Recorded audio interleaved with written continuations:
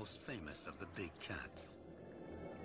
Its reputation comes from the immense territory it conquered with its claws and teeth.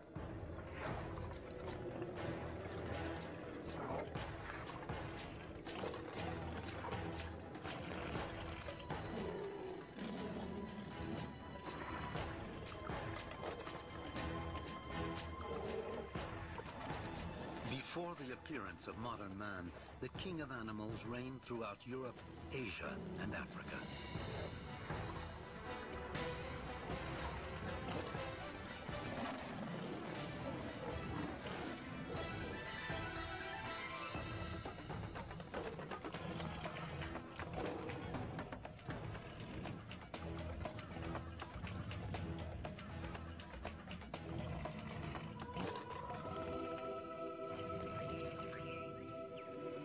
Today, Africa is its last refuge.